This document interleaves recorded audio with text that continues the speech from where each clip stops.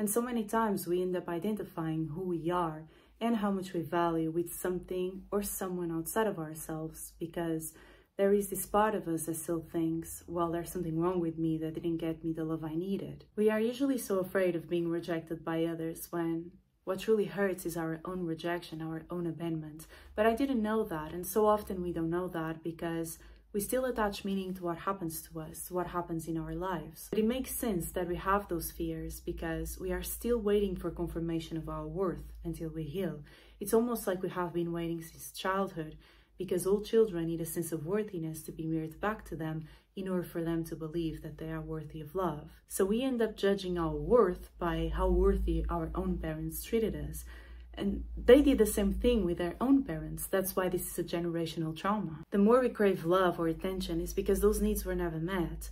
And so there is this void, there is this emptiness. And sometimes we try to fill that emptiness with a relationship or with things outside of us. And I remember when I didn't have those things, I would use maladaptive daydreaming, the never ending fake scenarios in my head, usually connected to love addiction, um, because that was a way for me to cope with my surroundings and with my pain. It was a distraction, but it is true that it, it brings instant gratification, but it's preventing you from seeing the real problem. The problem is never the addiction. The problem is usually the pain that underlies that addiction. That's why I always tell my clients, you have to look at the pain that you feel, not as something that is against you, but as something that is there for you, to guide you. It is an opportunity for you to reclaim a part of yourself that you still don't own. That's why the experiences that we attract into our lives are never a reflection of what we deserve or our worth. They are simply showing us what we still need to heal.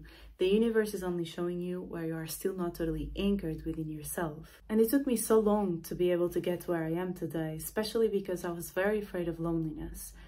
Because when we decide to not abandon ourselves anymore, we have to stay present with our feelings, with our pain, with our insecurities, and that can be very overwhelming. So I remember thinking, well, I don't want to be alone, so I'll just put up with these people or with this behavior. That's why it is so important to have support.